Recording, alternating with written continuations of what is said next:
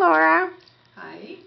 I want to thank Horizon for doing a good job on their construction. They showed up every day on time, and we're always there to answer our questions. Thank you. Thank you very much.